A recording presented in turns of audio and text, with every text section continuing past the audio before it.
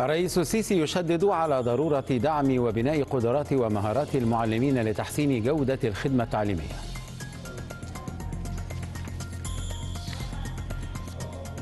رئيس الوزراء يقوم بجولة شاملة بمدينة العالمين الجديدة ويؤكد أهمية المشروعات الجاري تنفيذها في الساحل الشمالي.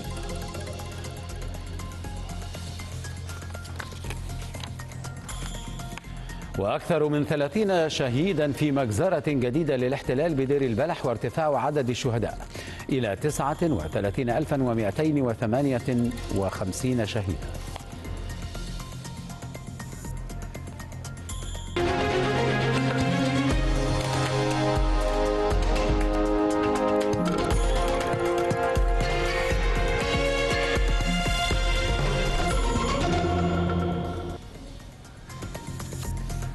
الثامنة مساء في القاهرة. موعد بانوراما إخبارية شاملة. تأتيكم من شاشة قناة النيل الأخبار أهلا بكم. أهلا بحضراتكم مشاهدينا الكرام. تفاصيل النشرة. أكد الرئيس عبد الفتاح السيسي الأولوية التي توليها الدولة لتطوير جميع محاور منظومة التعليم خاصة العنصر البشري. جاء ذلك خلال اجتماع لبحث عدد من محاور التدريب والتأهيل لمكونات العملية التعليمية وعلى رأسها دعم وبناء قدرات ومهارات المعلمين.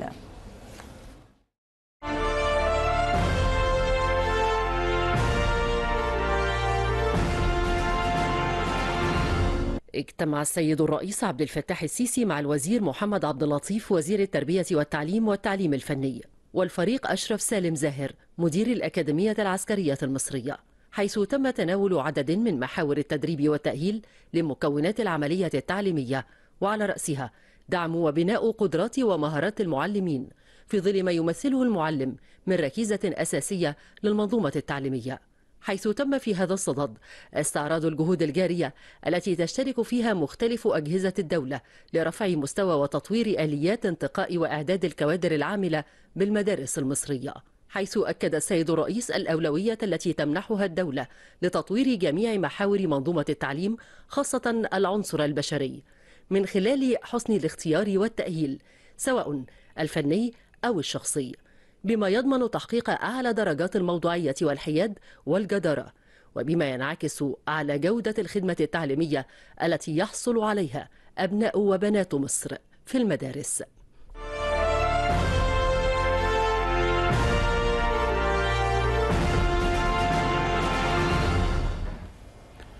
للمزيد من المتابعة والتفاصيل ينضم إلي السيد أيمن صقر هو مدير تحرير وكالة أنباء الشرق الأوسط. أستاذ أيمن أهلا بك. وكل التحية. القيادة السياسية إذا تولي التعليم أهمية وتضعه على رأس أولويات كثيرة. كذلك الاستثمار في العنصر البشري أمر مهم. كيف تابعت لقاء السيد الرئيس يعني الذي كان في التقرير مع وزير التربية والتعليم وكذلك مدير الأكاديمية العسكرية؟ أستاذ أيمن هل تسمعني؟ معك النهارده كان في اجتماع مع فخامة السيد الرئيس عبد الفتاح السيسي مع وزير التربية والتعليم دكتور محمد عبد اللطيف ومدير الأكاديمية العسكرية المصرية. خاص الاجتماع أن حصل على دور المعلم وأهمية المعلم وتطوير كوادر المعلم. الدولة المصرية منذ بداية منظومة التعليم الجديدة هناك اهتمام كبير بتطوير المناهج وبنفس الوقت تطوير الكوادر المعلمين والاداريين داخل المدارس. اجتماع اليوم ركز على أهمية استمرار منظومة تطوير تطوير المعلمين من خلال تطوير المهارات والدورات التدريبية بالإضافة كما نعلم أن هناك مبادرة السيد الرئيس عبد الفتاح السيسي 30 ألف معلم على مده خمس سنوات بإجمالي 150 ألف معلم. هذه المبادرة يتم فيها التقاء واختيار الأصلح والأفضل. عملية الاختيار المعايير أو الأفضل الاصلح حضرتك بتتكلم على تقدم خدمة تعليمية لطلاب من سن الروضه حتى الثانوية العامة. يجب أن يكون المدرس على أعلى مستوى سواء من الناحية الفنية أو المهنية أو اللياقة البدنية وكيفية التعامل وكيفية تقديم المعلومة بالتوازي مع المنظومة الجديدة، كل هذا ما توليه الدولة للمعلمين وتطوير الكوادر لتقديم خدمة تعليمية مميزة على أعلى مستوى خاصة أن مصر تقدمت كثيرا في التصنيف العالمي في مراحل التعليم المختلفه وإن شاء الله يكون هناك استمرار لهذا التقدم مع آه، الآلية الجديدة التي تتخذها الدولة سواء من ناحية تطوير المنظومة التعليم ككل من ناحية المناهج وتطوير وتدريب المعلمين. من خلال متابعتك آه، يعني خلال الفترة الماضية هل هناك رؤية جديدة الآن لتطوير آه، الجانب التعليمي لتطوير العنصر البشري؟ يعني بطبيعة الحال هناك ملفات آه، كثيرة منها ما هو صعب ومنها ما هو يعني يعتبر تحديا على مستوى السنوات المقبلة لكن مسألة التعليم تحديدا دول نهضت بالاهتمام بالتعليم. بالفعل يعني هناك منذ تطبيق المنظومة الجديدة أنا في اعتقادي الشخصي والمتابعه مم. اليومية لملف التعليم المنظومة الجديدة للتعليم سواء المناهج أو ما يتم مع المعلمين من أفضل المنظومات عالميا. آه، آه، هناك تقدم كبير في مستوى الطلاب. آه، نحن نتحدث عن ثمان سنوات آه، من أول آه، روضة آه، روضة واحد وروضة اثنين حتى الصف السادس الابتدائي والعام المقبل الصف الأول الإعدادي. هناك تطور كبير في مهارات الطالب. سواء في التعامل في القراءة باللغتين العربية والإنجليزية. آه، بالإضافة إن العام المقبل سيكون هناك خمس لغات في المرحلة الإعدادية يتم الاختيار منها. كل هذا هناك تطوير بالفعل في المنظومة. آه، آه، يبقى كي هناك تحديات. أنا معك هناك تحديات تواجه الوزارة سواء من عجز المدرسين أو الكثافات داخل المدارس أو اجبار الطلاب على ال- على المدارس نفسها. كل هذه المشاكل الوزارة تعمل حاليا على حل هذه المشاكل. نعم. لكن تفضل يا أستاذ أيمن لو لو لو عندك إضافة يعني لا ال- الأساس زي ما أقول آه، فكان اجتماع اليوم الأساس هو المعلم وتدريبه وتاهيله آه، آه، داخل المدارس. أشكرك. شكرا جزيلا أيمن صقر مدير وكالة أنباء الشرق الأوسط. كل التحية إليك. أكد رئيس الوزراء الدكتور مصطفى مدبولي أهمية المشروعات الجاري تنفيذها في الساحل الشمالي والتي تضع مصر على خريطة الاستثمار والسياحة العالمية. وقد جاء ذلك خلال جولة تفقدية بمدينة العالمين حيث شدد مدبولي على ضرورة تنفيذ المشروعات وتسليم الوحدات السكنية وفقا للجداول الزمنية الموضوعة. جولة تفقدية موسعة بمدينة العالمين الجديدة لمتابعة تنفيذ المشروعات المختلفة بالمدينة. بدأها الدكتور مصطفى مدبولي رئيس الوزراء بمتابعة موقف تنفيذ وتشغيل المنشآت بالمدينة التراثية. واستمع إلى شرح من المهندس شريف الشربيني وزير الإسكان والمرافق والمجتمعات العمرانية حول المدينة التراثية والمشروعات المتنوعة التي تقام بها. ويأتي على رأسها بحيرة رئيسية ومسجد وكنيسة وأوبرا ومتحف ومجمع سينمات ومسرح روماني والعديد من المباني التجارية. كما تفقد رئيس الوزراء الوحدات الجاهزة للتسليم بمشروع الحي اللاتيني بالعالمين الجديدة المقام على مساحة تقترب من 400 فدان. ويتكون المشروع من مناطق خضراء وعمارات سكنية ومناطق خدمية حيث أشاد رئيس الوزراء بجودة أعمال التشطيبات المنفذة ووجه بضرورة الاهتمام المستمر بأعمال التشجير. كما تفقد رئيس الوزراء مشروع أبراج الداون تاون ووجه بأهمية التركيز على التسويق للمشروع بصورة مميزة وأعطى إشارة البدء لحفر منطقة الكريستال لاجون التي تتوسط الأبراج. ومن نقطة مشاهدة من الطابق الواحد والخمسين بأحد الأبراج وجه رئيس الوزراء بضرورة الالتزام بالمخططات الزمنية للتنفيذ. كما شملت الجولة تفقد مشروع سكن مصر بمدينة العالمين الجديدة والذي يعد من المشروعات المتميزة لشريحة متوسط الدخل. ويتكون المشروع من 128 عمارة سكنية تضم ما يقرب من خمسة آلاف وحدة سكنية منها ما تم تسليمه للمواطنين وجاري تنفيذ باقي المشروع.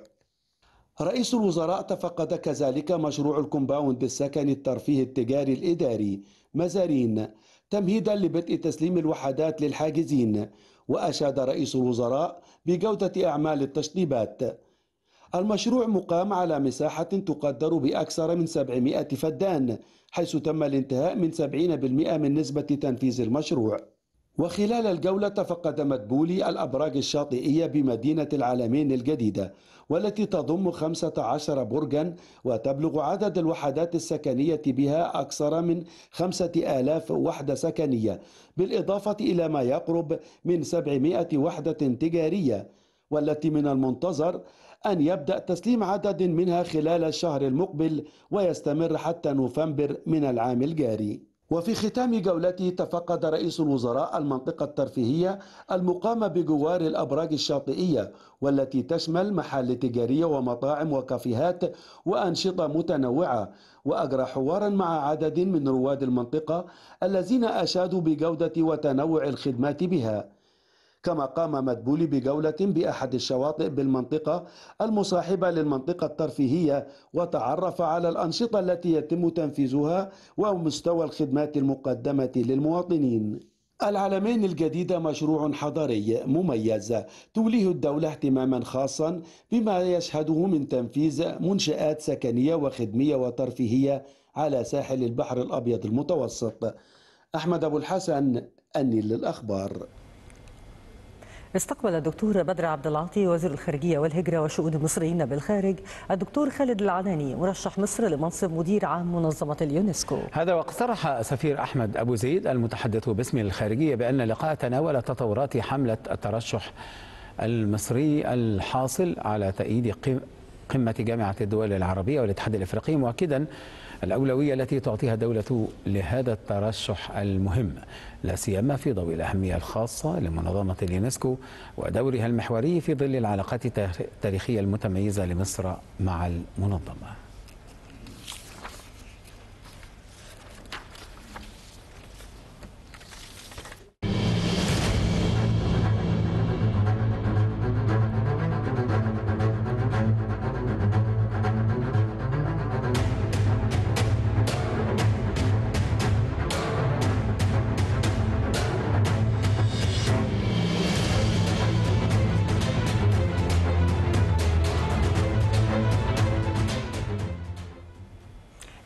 الخامس والتسعين بعد المئة الثانية. يواصل جيش الاحتلال الإسرائيلي حربه على قطاع غزة مخلفا عشرات الآلاف من الشهداء والمصابين. بينما تستضيف العاصمة الإيطالية غدا جولة من المفاوضات لبحث التوصل لوقف لإطلاق النار وإطلاق سراح المحتجزين.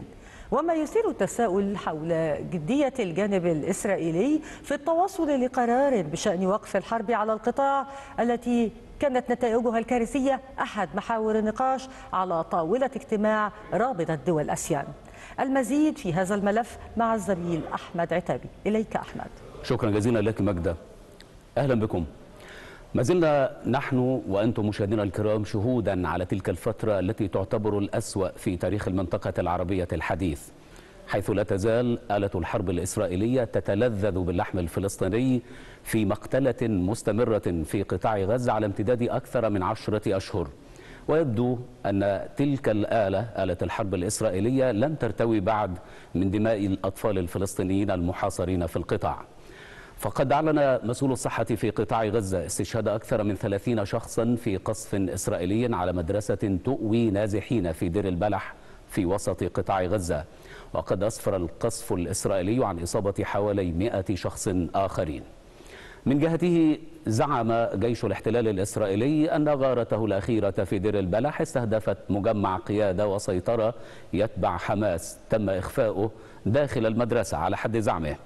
وقد كان جيش الاحتلال قد طلب سكان الأحياء الجنوبية في منطقة خان يونس جنوب قطاع غزة بإخلائها بشكل مؤقت لاستكمال عملياته الميدانية.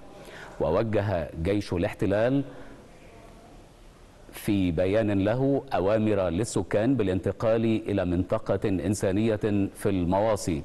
وأضاف أن قواته خاضت معارك مع عناصر من الفصائل الفلسطينية الليلة الماضية في تلك المدينة في سياق متصل. أعلن مجمع ناصر الطبي استقبال جثامين 14 شهيدا صباح اليوم من جراء قصف الاحتلال عددا من المنازل بخان يونس. لليوم الخامس والتسعين بعد المئتين على التوالي تواصل قوات الاحتلال الإسرائيلي ارتكاب جريمة الإبادة الجماعية في قطاع غزة عبر شن عشرات الغارات الجوية والقصف المدفعي مع ارتكاب مجازر ضد المدنيين وسط وضع إنساني كارثي نتيجة الحصار ونزوح أكثر من 95% من السكان.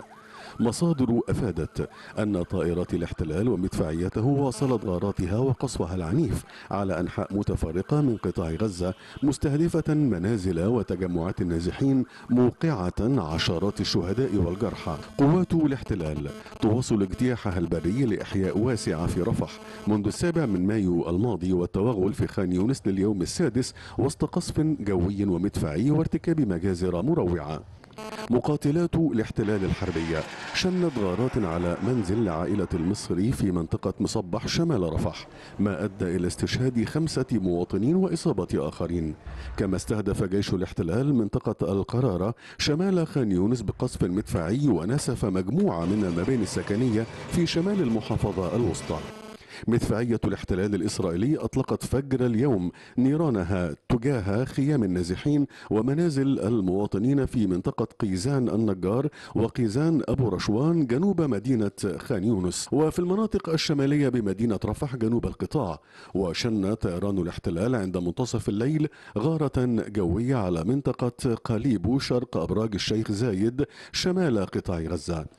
جيش الاحتلال الإسرائيلي وجه أوامره لسكان الأحياء الجنوبية في منطقة خان يونس جنوب قطاع غزة إخلاء المنطقة مؤقتا والانتقال إلى منطقة إنسانية في المواصي لاستكمال عملياته الميدانية بتلك المنطقة.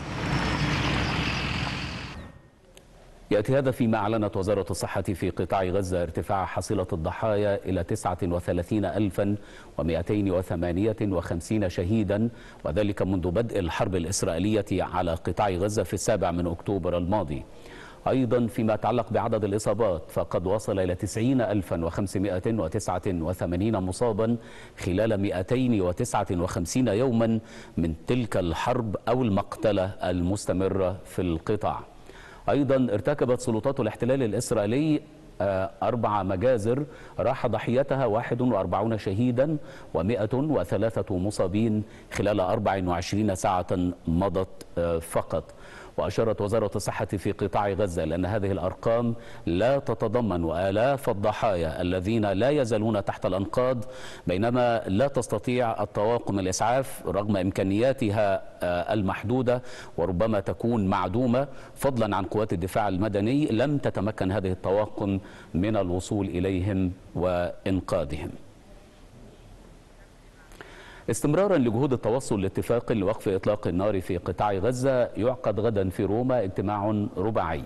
يشارك فيه مسؤولون من مصر والولايات المتحدة وقطر بحضور رئيس المخابرات الإسرائيلية. وقد أعلن مصدر مصري رفيع المستوى أن القاهرة أكدت تمسكها بضرورة التوصل لصيغة اتفاق تقضي بالوقف الفوري لإطلاق النار في قطاع غزة. جديد لإرساء هدنة في غزة تشهدها روما عبر اجتماع رباعي يضم وفود من مصر والولايات المتحدة وقطر وإسرائيل. وفي إطار الجهود الحثيثة التي تبذلها الحكومة المصرية من أجل تهدئة الأوضاع في قطاع غزة تشدد القاهرة على ضرورة أن ينص الاتفاق على وقف فوري لإطلاق النار ويضمن دخول المساعدات الإنسانية إلى غزة ويكفل حرية تحرك مواطني القطاع وانسحابا إسرائيليا كاملا من معبر رفح عند الحدود بين مصر والقطاع الفلسطيني المحاصر والمدمر. على الجانب الآخر يسعى الكيان المحتل إلى إدخال تعديلات على خطة الهدنة في غزة والإفراج عن المحتجزين ما يتسبب في عرقلة الجهود الرامية إلى التوصل إلى اتفاق نهائي لوقف الحرب المستعرة منذ أكثر من تسعة أشهر. في الوقت ذاته تلقي المفاوضات المزمع إجراؤها في العاصمة الإيطالية بظلالها على احتمالية تغير السياسة الأمريكية تجاه إسرائيل إذا ما فازت كامالا هاريس في السباق الرئاسي إلى البيت الأبيض فيما يؤكد منافسها دونالد ترامب على دعمه المطلق للكيان الصهيوني راميا بعرض الحائط أي محاولة لإرساء الهدنة بغض الطرف عن الجرائم الإسرائيلية. ولم تكن هذه المحاولة هي الأولى لفض النزاع وإنهاء الحرب في غزة بل سبق وقدم الرئيس الأمريكي صياغة لتعديل مقترح إسرائيلي لوقف إطلاق النار عكست بدورها إجراءات تفتقر للشفافية واقتراحات مطاطة فيما يتجرع شعب أعزل يوما بعد يوم ويلات لا تنتهي يئن لها الضمير البشري أمام حالة مذرية من الصمت الدولي ومعاناة منقطعة النظير للشعب الفلسطيني ما بين آلام الفقد وبراثن الجوع ما يشكل كارثة إنسانية يندى لها الجبين. على جانب آخر حث بيان صادر عن اجتماع رابطة آسيان جميع الأطراف على العمل نحو السلام بهدف تحقيق حل الدولتين. كما عبرت المجموعة عن قلقها إزاء الوضع الإنساني المتدهور في قطاع غزة.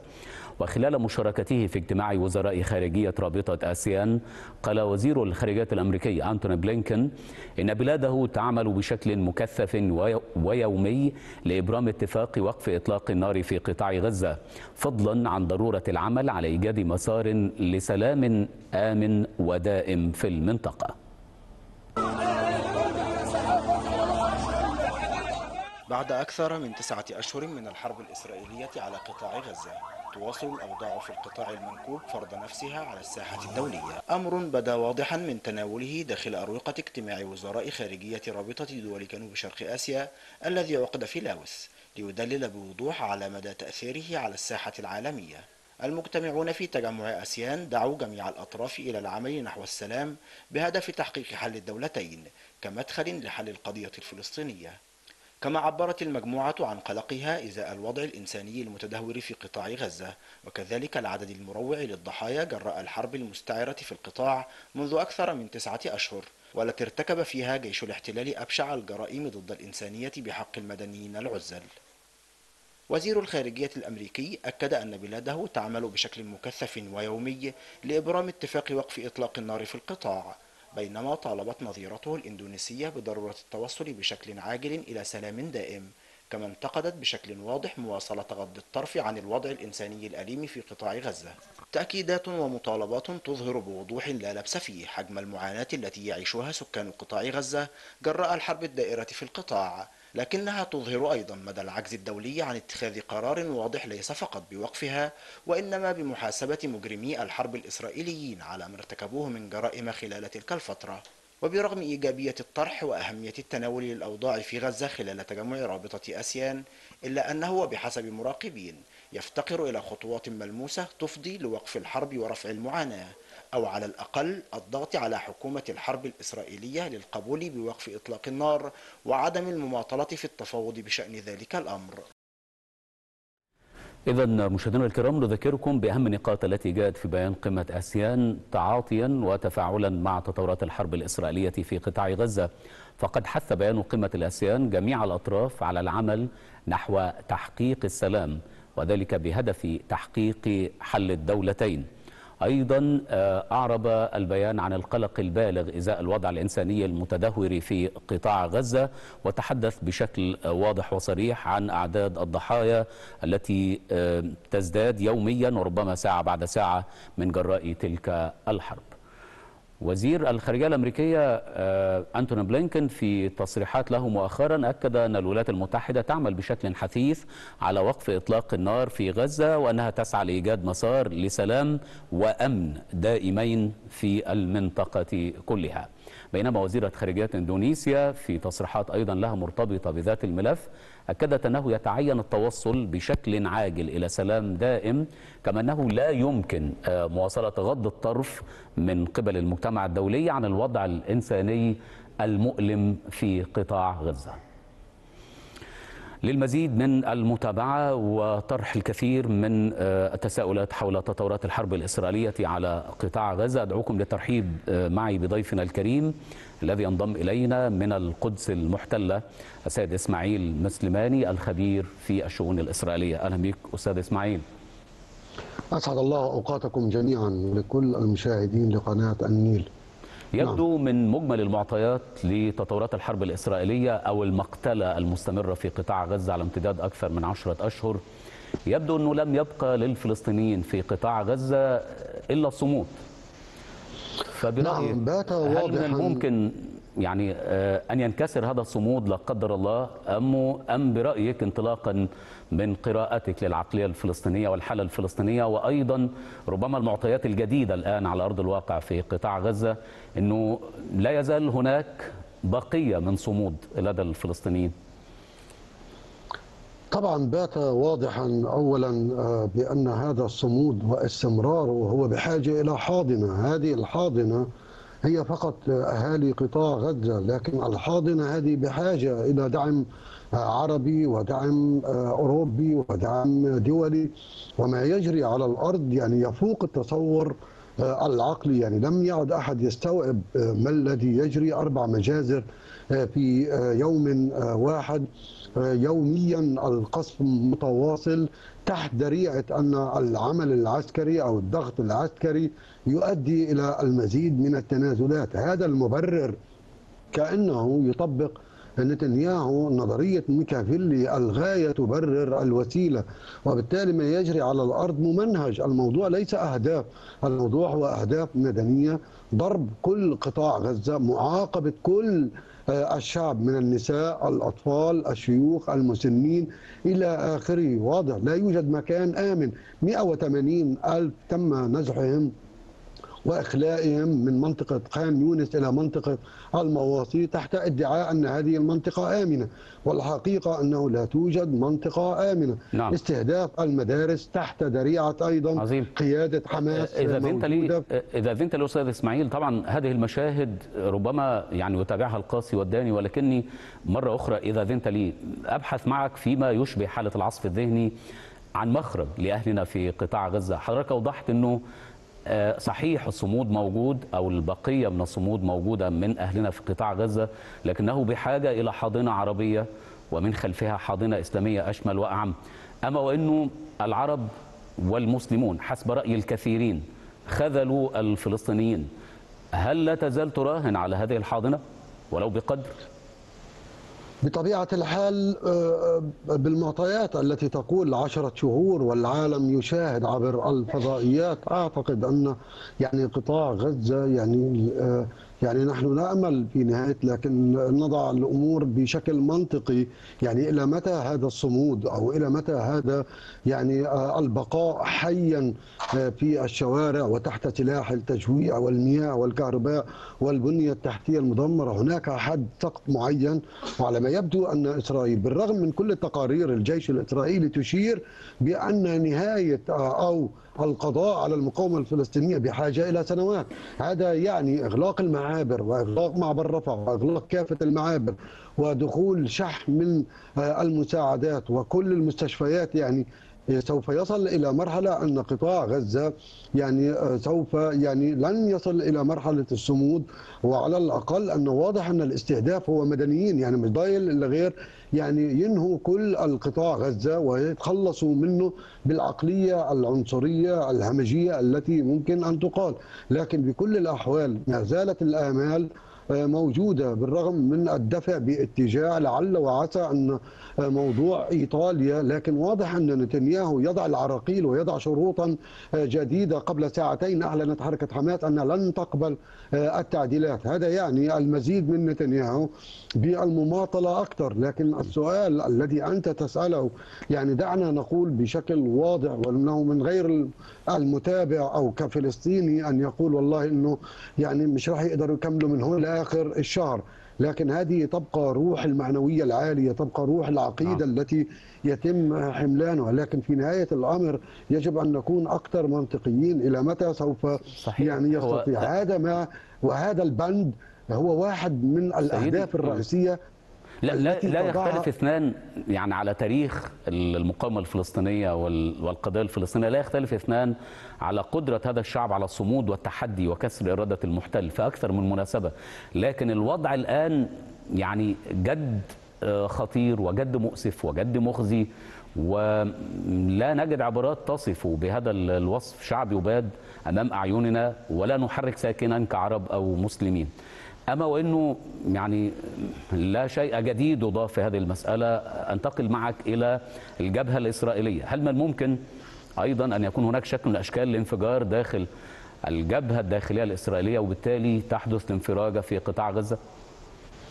آه، قبل الإجابة على سؤالك آه، شعبنا الفلسطيني يعني مر بمحطات آه، نضالية كثيرة يعني أجهض في العديد من المحطات وهذا صراع مفتوح لكن أن يرفع آه، يده ويرفع الراية البيضاء هذا من المستحيل لأن نذكر عام 48 67 56 72 87 الانتفاضة الأولى الثانية وبالتالي يعني الاحتلال جرب الشعب الفلسطيني بكل أدوات لكن هذه المرة كانت قاسية ومؤلمة حقيقة. نحن يعني نأمل الفرج من الله عز وجل يعني أن ينقذ آه، آه، ما تبقى من قطاع غزة وإلا أن المأساة يعني آه، تزداد يوما بعد يوم.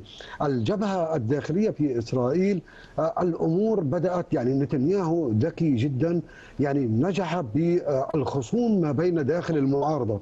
ونحن كنا الجميع كان يراهن أو على الأقل آه، كان الكل يعتقد بأن خروج جانيت وإيزنكوت من حكومة الطوارئ سوف يخلق حالة في داخل الشارع الإسرائيلي لكن نتنياهو مرة أخرى استطاع أن يلعب على كل الأوتار وخاصة موضوع الخطر الخطر الوجودي الذي يتعلق في إسرائيل والمراهنات عليه. المعارضة ضعيفة جدا وبالتالي الآن ستدخل الكنيسة عطلة وبالتالي إزاحة الحكومة. هذا من المستحيل الآن.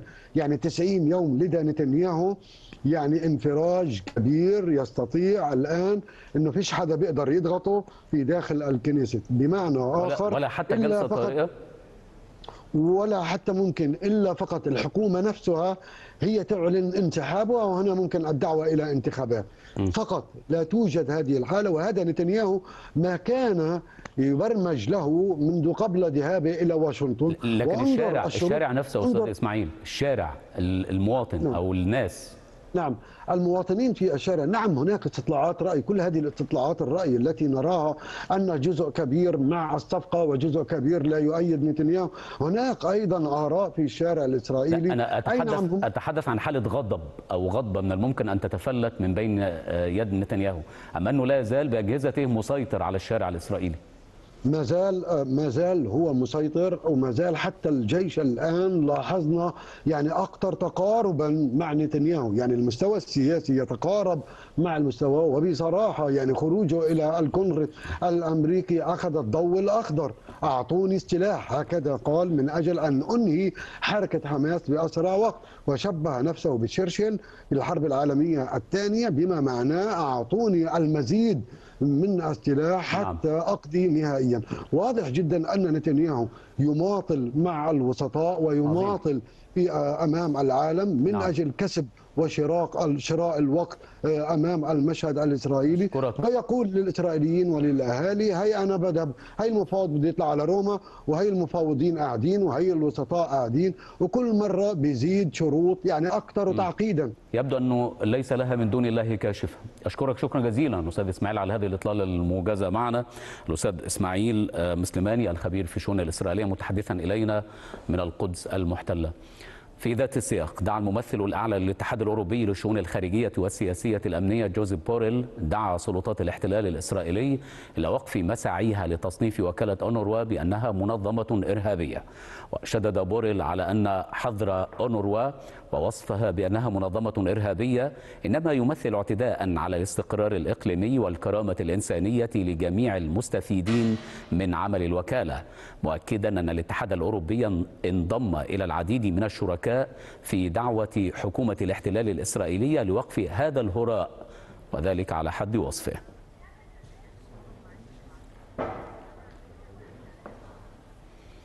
نكتفي بهذا القدر مشاهدينا الكرام من متابعة تطورات الحرب الإسرائيلية على قطاع غزة لكن تبقى المتابعة مستمرة معكم على مدار خدماتنا الإخبارية على امتداد اليوم. الآن هذه عودة من جديد إلى زميلة مجدة القاضي واستكمال بقية أنباء الفترة الإخبارية. إليك مجدة شكرا لك تبي على متابعة الملف. عودة لقراءة الأخبار مشاهدينا حيث نفى حزب الله وسيلته عن إطلاق صواريخ على قرية مجدل شمس في الجولان السوري المحتل بشمال إسرائيل. خلفت تسعة قتلى وأربعة وثلاثين جريحا. كانت وسائل الإعلام الإسرائيلية قد أفادت بسقوط عدد من القتلى جراء سقوط أكثر من 100 صاروخ في منطقة مجدل شمس في الجولان المحتلة مضيفة أن الصواريخ أطلقت من لبنان. وأشارت تقارير إعلامية أن هجوما صاروخية من الأراضي اللبنانية وقع على ملعب لكرة القدم بالجولان المحتل وفي المقابل. أعلن مصدر أمني لبناني مقتل أربعة من مقاتلي حزب الله في غارة إسرائيلية.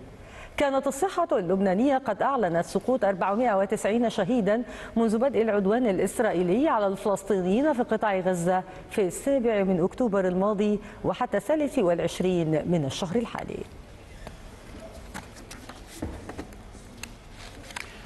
حذر وزير الخارجية الصيني وانغ بي الفلبين من نشر صواريخ أمريكية متوسطة المدى قائلا. إن مثل هذه الخطوة قد تغذي التوترات الإقليمية وتشعل سباق التسلح. وأرسلت الولايات المتحدة نظام الصواريخ تايفون إلى الفلبين في إطار تدريبات عسكرية مشتركة في وقت سابق من هذا العام. وقال مسؤول عسكري فلبيني إنه لم يتم إطلاقه خلال التدريبات لكنه لم يذكر المدة التي سيبقى فيها في البلاد. وأبلغ وانغ وزير الخارجية الفلبيني أنريكي مانولو خلال اجتماع في فانتيان أمس بأن العلاقات بين البلدين وصلت إلى مفترق طرق وأنه لا يوجد سبيل لتجنب الصراع سوى بالحوار لأن الفلبين انتهجت انتهكت مرارا التوافق بين الجانبين والتزاماتها.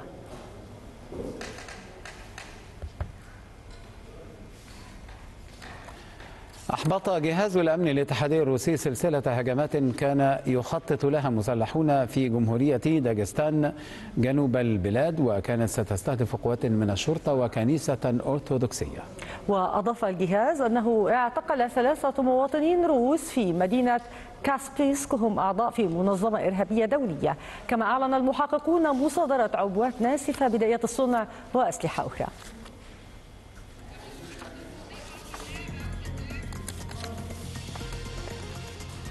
مشاهدي الكرام هذه نشرة ما يزال فيها المزيد. نتابع بعد أخبار الاقتصاد بأمر الله.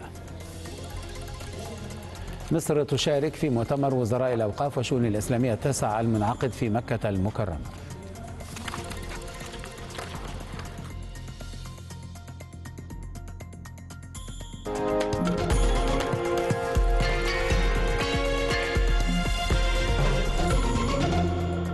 يلا يا شباب حطوا إيديكم في إيدينا. نبني مصر من جديد. يا شباب مصر محتاجة لكم. ما تيجوا نشتغل. وبجد. مع تحيات شركة جرين ماجيك للإنتاج الصناعي.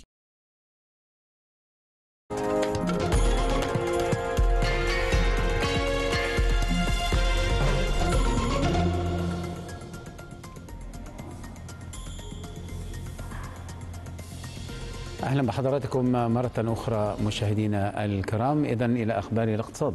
نعم وأخبار الاقتصاد مع الزميل محمد سليمان. إليك محمد. شكرا لك مجدة وأشكرك محمد. مرحبا بكم. أخبار الاقتصادية في بانوراما الثامنة وتتابعون فيها. وزير التموين يتفقد عددا من الخدمات والمشروعات التموينية بمحافظة الإسكندرية.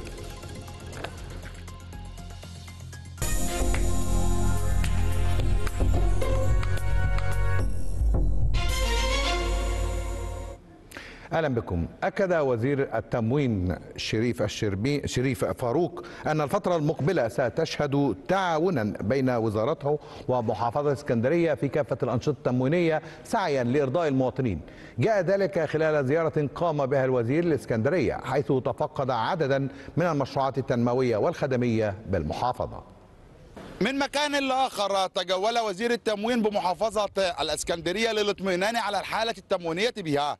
جولته التي بدأت بأحد مراكز الخدمة والتي أتبعها أيضا بأحد المخابز انتهت بأحد الشركات التابعة للقبيضة للصناعات الغذائية لإنتاج الزيوت. فمن هنا وبأحد مراكز الخدمة بالإسكندرية بدأ وزير التموين جولته للاطمئنان على الخدمات المقدمة للمواطن على بطاقة الدعم. سعداء بالعمل بتاعكم وعايزين نستغل وإحنا في ضيافة سيادة الفريق المحافظ. المركز قائم على خدمة المواطن من فصل اجتماعي وبدل تالف وبدل فائد وخدمات أخرى. الخدمة لا تتعدى الخمس دقائق فأقل. لينتقل بعدها وزير التموين إلى أحد المطاحن للاطمئنان على إنتاج الدقيق حديثه مع المسؤولين بالمطحن جاء ليؤكد أن القادم أفضل سواء في الإنتاج أو الحوكمة. وده واحد من الأدوار اللي إحنا لازم هنهتم بيها والتأكد من استقرار الأسعار تأكد من توافر السلع ورجوعا لسؤال سيادتك بالتحول الرقمي. أيضا دي واحدة هتكون من اهتماماتنا في المطاحن إن إحنا نزود السعة بتاعتها وده باستخدام التكنولوجيا. الأمر لم يقف عند هذا الحد بل استكمل الوزير جولته على أحد المخابز للاطمئنان على إنتاج الخبز المدعم ووصوله إلى مستحقيه ده أحد المخابز اللي موجودة في محافظة الإسكندرية 1382 مخبز. ده مخبز آه، آلي مرغوف على دقيق مجر قطعه فراده اللي بيتباع الرغيف ب 20 قرش على البطاقة التموينية. وبحسب القائمين على الأمر فإن إنتاج المخابز يصل إلى 270 مليون رغيف خبز مدعم يوميا. تصريحات الوزير عنه جاءت لتؤكد دعم الدولة له رغم تحريك أسعار المحروقات. لتكون تلك النتيجة. باخد اللي أنا عاوزه. بالبطاقة. على حسب اللي مكتوب. مكتوب 3 جنيه 4 جنيه بيديني بالبطاقة. والحاجة رخيصة وجميلة. وقبل الختام تفقد وزير التموين أحد المجمعات الاستهلاكية لمعرفة الأسعار وجاءت توجيهاته بالتخفيض لنسب تصل إلى أكثر من العشرين في المئة.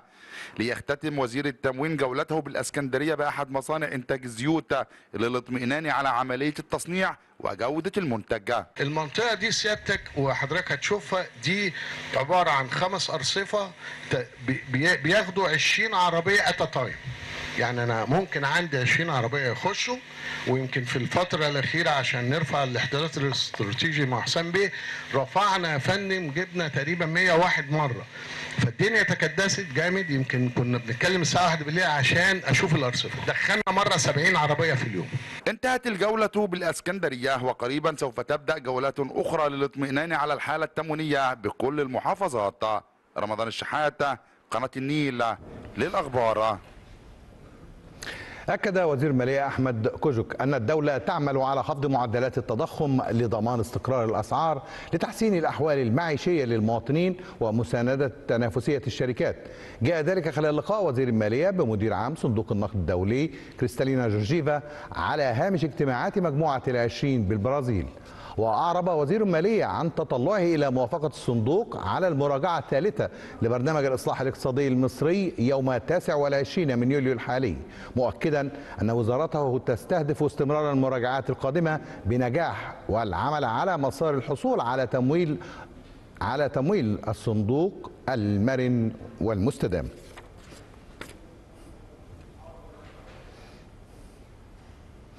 قام دكتور محمود عصمت وزير الكهرباء والطاقة المتجددة بزيارة ميدانية مفاجئة لقطاع شبكات المدن الجديدة بمدينة العاشر من رمضان والذي يخدم مدن العاشر والشروق وبدر وهليوبلس والهيك ستيب.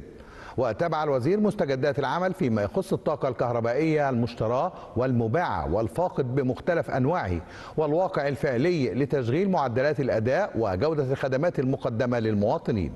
وأكد الوزير على ضرورة نشر ثقافة الترشيد بين المواطنين والحفاظ على استمرارية التيار الكهربائي ووقف تخفيض الأحمال.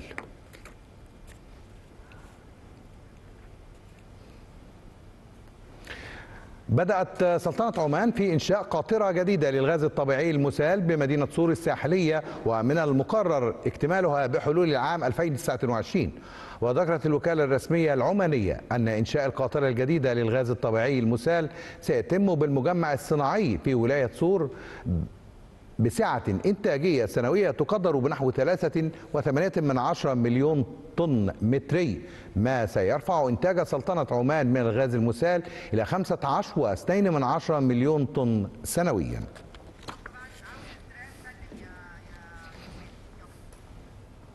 انتهت أخبارنا الاقتصادية وعودة لزميلي محمد ترك ومجد الخطيب لاستكمال البانوراما. شكرا لك محمد على هذه القراءة. شكرا جزيلا.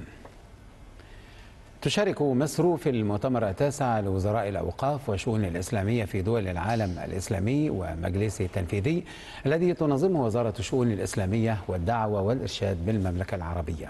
وذات ذلك آه، برعاية آه، آه، أمير المملكة العربية. السعودية نعم. يعقد المؤتمر في مكة المكرمة. تحت عنوان دور وزارات الشؤون الإسلامية والأوقاف في تعزيز مبادئ الوسطية وترسيخ قيم الاعتدال. وتبحث الدول المشاركة التي يبلغ عددها آه، 60 دولة تجديد مفهوم الخطاب الديني ومواجهة مستجدات التطرف والإرهاب وأهمية تحصين المنابر من خطاب الكراهية والتطرف والتنبيه لخطورة الفتوى دون علم.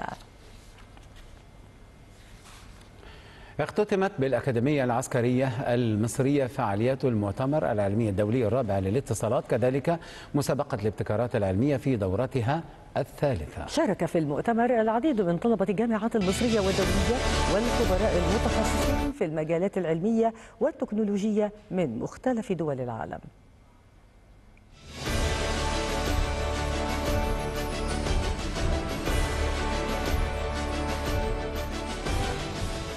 اختتمت فعاليات المؤتمر العلمي الدولي الرابع للاتصالات ITC Egypt 2024 ومسابقة الابتكارات العلمية في دورتها الثالثة ISEC 2024 بمشاركة العديد من طلبة الجامعات المصرية والخبراء المتخصصين في المجالات العلمية والتكنولوجية من مختلف دول العالم والتي استمرت فعاليتهما على مدار عدة أيام بالأكاديمية العسكرية المصرية وشملت الأنشطة عقد عدد من الجلسات الحوارية وورش العمل ومناقشة أحدث الأبحاث العلمية بهدف إتاحة الفرصة للمشاركين لتبادل الرؤى والأفكار العلمية للمساهمة في إثراء العمل البحثي العلمي والارتقاء بمستوى العلم والمعرفة. وفي ختام المؤتمر نقل اللواء أركان حرب ياسر الطودي قائد قوات الدفاع الجوي. تحيات وتقدير الفريق أول عبد المجيد صقر القائد العام للقوات المسلحة وزير الدفاع والإنتاج الحربي.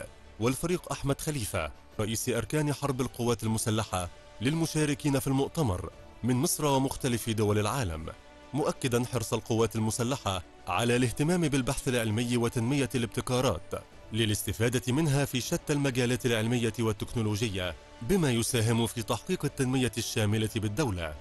كما تم تكريم الفائزين بالمراكز الأولى في المؤتمر العلمي الدولي الرابع للاتصالات ومسابقة الابتكارات العلمية. وأعرب المشاركون عن عميق شكرهم وامتنانهم لما تقدمه القوات المسلحة من دعم وتنظيم لهذا الحدث العلمي الهام وتطلعهم أن تشهد المرحلة القادمة المزيد من المؤتمرات العلمية والبحثية. التنظيم الرائع وال... والكواليتي بتاع الحاجة اللي موجودة يعني طبعا ده شكر كبير للقوات المسلحة إن تطلع بالصورة التنظيمية الهائلة دي. في تقدم كل سنة في المعرض الحمد لله. إيه، مستوى الطلبة في نماء. المؤسسة العسكرية متبنية جدا المجتمع المدني. بنبدأ إن أنا ممكن أشوف فكرة مشروع تانية أبدأ السنة الجاية أشتغل عليها وأطور من نفسي فيها. بدأ المجتمع وال- والحياة العسكرية الاثنين يندمجوا ببعض بحيث إن إحنا كلنا في الآخر نخدم مصر. أطلقت مؤسسة حياة كريمة بالتعاون مع وزارة التضامن الاجتماعي والتحالف الوطني للعمل الأهل- الأهلي التنموي والهلال الأحمر المصري حملة إيد واحدة. وتهدف الحملة لتقديم دعم تنموي شامل لمليون ونصف أسرة من الأسر الأكثر احتياجا في مختلف محافظات الجمهورية.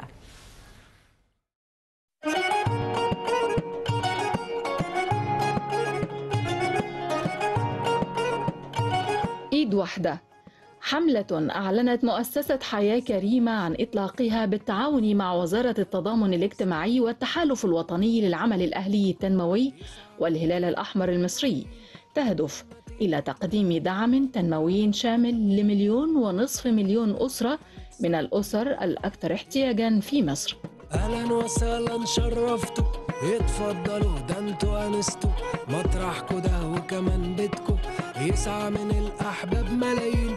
في هذا السياق أكدت بثينة مصطفى المتحدث الرسمي لمؤسسة حياة كريمة أنها تأتي في إطار حرص مؤسسة حياة كريمة على تعزيز مظلة الحماية الاجتماعية وزيادة فرص تحقيق العدالة الاجتماعية في إطار التعاون كجزء من الاستراتيجية المشتركة والتكامل بين الوزارة ومؤسسات المجتمع المدني المختلفة بما يؤدي لتعزيز الجهود التنموية وتوفير الدعم اللازم للأسر الأكثر احتياجاً.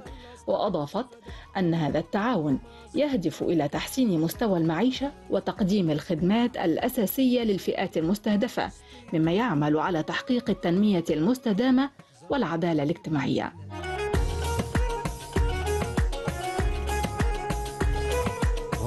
إحنا بقى اصحاب الدار ما يهمنا ليل ولا نهار وأكدت بثينة مصطفى أن مبادرة إيد واحدة تشمل مجموعة من القوافل التنموية الشاملة التي تهدف إلى تحسين ظروف المعيشة من توفير الدعم الغذائي والنقدي وتقديم الخدمات الصحية المتنوعة كذلك تقديم البرامج التوعوية لمواجهة التحديات الاقتصادية والاجتماعية. الجهات المشاركة في المبادرة تعمل على تنسيق الجهود لضمان تحقيق الأهداف المرجوة بكفاءة وفاعلية وتأكيدا على الالتزام بتحقيق العدالة الاجتماعية وتقديم كافة أنواع الدعم للأسر الأكثر احتياجا. والفرحة تفضل في البال.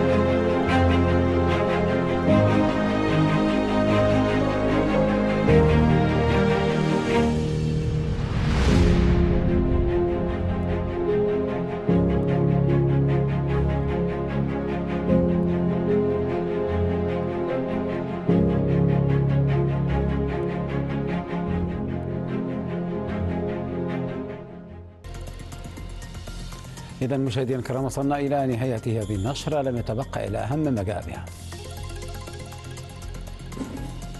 الرئيس السيسي يشدد على ضرورة دعم وبناء قدرات ومهارات المعلمين لتحسين جودة الخدمة التعليمية. رئيس الوزراء يقوم بجولة شاملة بمدينة العالمين الجديدة ويؤكد أهمية المشروعات الجاري تنفيذها في الساحل الشمالي.